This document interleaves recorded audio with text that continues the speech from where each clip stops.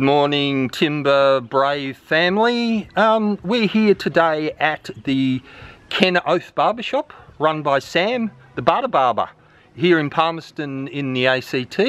Um, and we're just setting up this morning to give out some free haircuts as part of Movember. And say good day to Sam. Hey everybody, how you doing? So Sam, um, is the Barter Barber. He's come over from New Zealand. He's been in Australia now for about a year. Yep, just on. Uh, probably today. Today's Probably a year. Today. But his um, his reasoning for actually doing the barbershop is men's mental health, is to get men to talk about their mental health, which they're really bad at. So um, he's got a really, check him out on Facebook, he's got a really big following on there too from New Zealand, and he's starting to get a big following here in Australia as well. Um, and apparently he's got a big story coming up on ABC. Yeah, tomorrow, Yeah. Monday. Monday. So check out ABC for a story about Sam and the and the barber barbershop. So so Sam, what did, why do you think that the environment of a barbershop is good for men to discuss their mental health if they feel like it? I mean, there's quite a few different reasons. Um, there's quite a bit of um, uh, psychology that goes behind it. A big one is, and this is quite interesting to a lot of people, is the way that the body positioning is. So sitting down, sitting and reflecting on yourself directly and actually physically reflecting, and then having somebody come over top of you, dominating, and touching your face. And so a lot of guys, especially heterosexual men, don't touch each other's faces. This is a very taboo area. And so to be able to give, let somebody in there, you have to have vulnerability. And with that vulnerability comes uh, closeness and compassion, and that's what makes the barbershop work. Great, that's fantastic. Um, you've been, you've got your Ken Oath Barbershop trailer Yeah. here, which we want to have a have a look at. So let's Absolutely. go in Come and have me. a look. Let's go from the back. Yeah, let's go in the entrance. That's right. That's right. That's right. We start from the back and I'll tell you a little story about how we've built this and how it's come together. So uh, we built this, it got this as a trailer, wasn't fit for purpose, so we got it right down to the chassis and started again. All of this timber back here, these doors are from Old Parliament House. The threshold, oh you can see all the timber flicks from us uh, carving over the over the weekend but um, this is a lot of old parliament timber as well and we've rebuilt it all together this is all handmade the thresholds handmade and all the rest of it and then if we come on in you see my um, so all of the power that's coming through here we've got solar panels on top of it. All of the water comes into uh, tanks underneath that's collected on the roof. So we're completely off grid. Got things like this beautiful uh, whoops secret secret, secret compartment. Secret, big, big um, quotation. So we've got compartments all the way through here. Um, we keep all our battery storage in here um, and all the all the rest of it. These are all our fence palings, close to 100 year old fence palings from around Canberra. These are uh, pallets, just old pallets, just smoothed out with the best patterns on them.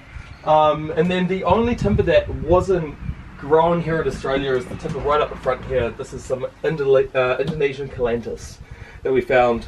So Bo and I will be travelling around in this very soon. We're looking for a truck to put it on the back of. And um, oh, we've also got a bedroom up the top there, um, which we'll be able to stay on when we're going down to say the coast or anything like that. So it's really, really exciting. It's very purpose built, and um, it's also insulated within um, just amazingly so. So it's uh, sound deadening. So when people have come here and they share their stories, it's only ever between us, and it stays here as well. So people can have the confidence in knowing that what they're sharing doesn't go any further, but they can still unload. And you were talking about going out to regional areas, especially locally, so down the south coast. Uh, that's right. That's right. So when I start this journey, it's going to be, um, you know, two weeks here in Canberra, a week on the way down the coast, and then a week on the coast. And from Canberra to the coast, we actually have different um, kind of uh, movements that we're trying to get started through there, different conversations that we're focusing on. So here we're focusing on the conversation between ourselves and tradesmen as our main focus. So getting out to the trades and having those conversations with guys that usually wouldn't have this conversation. Um, and then heading down the coast, we're going to be fo- focusing more on isolation. Um, you know, breaking that isolation. Um, how does community reach each other? How do I help my friends? And then right down the coast, we're actually going to be having big conversations around drugs as well, um, which is something some of my work that I've done back in New Zealand. So it's a really broad but it's also made for the people that it's going for. the really research. exciting because it's because we do work in regional areas and they're actually crying out for that sort of community connection around mental health. Um, we've done we've just recently done some work up at Bathurst and they were really appreciative of what we we're doing around storytelling. We're going down to Albury very soon to do some more storytelling down there. So um, yeah, we, we seem to be on the same path. Yes, and that's so exciting as well, of being here in Australia because this is so new to me. Is having so many people on that same path, knowing what needs to be done, and knowing that it needs to be done at a community level. Um, we can't wait for governmental change. We need to do it ourselves, and that's what this is about, and this is what Tim's doing. It's really important, isn't it? That's It what. I had this discussion with um, a minister, an ACT minister, and I said, um, I realise it's hard for government to get things through because of the the paperwork and and the Bureaucracy. That's right. Community can do anything that they like. Absolutely, absolutely. And when it's systemic change, Yeah. that's where it needs to start. You Yeah. know, it's the old Gandhi, we start with ourselves. If we want to change the world, that's how we do it. Definitely. Yeah. So, Sam, Yes. what's your Facebook page address? Facebook ha- page is facebook.com slash the barter barber. So barter is in like trade and exchange, the barter barber. And then if you want to find this on Instagram, you go to instagram.com slash Ken Oath Barbershop. So that's K E N Oath Barbershop. Good on you, Sam. Thank you very much. I'm going to get a cut from Sam. I already have, but I'm going to get another one Yes. while I'm here. Thanks, Sam. See you guys.